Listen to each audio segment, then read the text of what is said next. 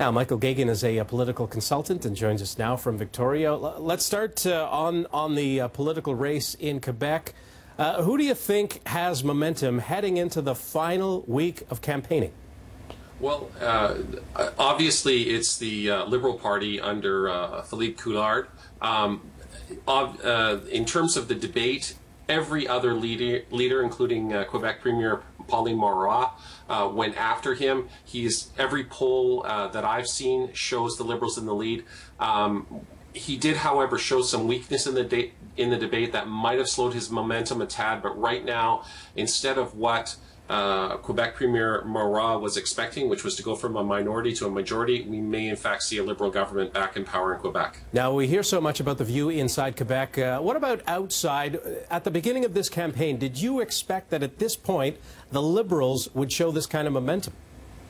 No, I'm pleasantly surprised. I think the rest of Canada, uh, to use Quebec's favorite term for the rest of for, for every other province, um, I, I, think we had resigned ourselves to there being uh, another PQ government and uh, and all the disruption and disharmony that comes with that. So if if we now see the election of a liberal government, that will obviously be good for uh, you know Canadian unity and and quite frankly for Canada and Quebec's economic progress.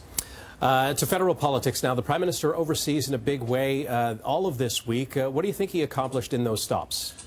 Well, first of all, uh, Stephen Harper, along with uh, German Chancellor Angela Merkel, you know, they are now the two most senior people within the uh, so-called G7. Um, you know, he, he did some important things. He's uh, uh, he he went to the Ukraine. Uh, he was at the Hague. Uh, he made some very clear statements about Russian President Vladimir Putin. He said, you know, we've tried to have this guy as a partner, but he's he Putin has made it clear he wants to be a rival, and now we have to treat him accordingly. So he's drawn a very clear line in the sand with regards with regards to Russia, and I think that's going to help stiffen the resolve of other uh, Western leaders. Uh, are you surprised at the uh, very tough line that he took compared to, say, uh, other nations? No, uh, for two reasons. Uh, first of all, uh, Prime Minister Harper has never trusted uh, Putin. Putin is an ex-KGB officer. Uh, he, he's a person who uh, laments uh, the the collapse of the Soviet Empire. So Harper has never never trusted the guy. And also, Canada has a very substantial uh, Ukrainian population, and so therefore, you know, it is just you know basically smart politics to take a tough line in defense of the Ukraine against Russia. Michael Geoghegan uh, joining us from Victoria. Thank you very much and have a great weekend.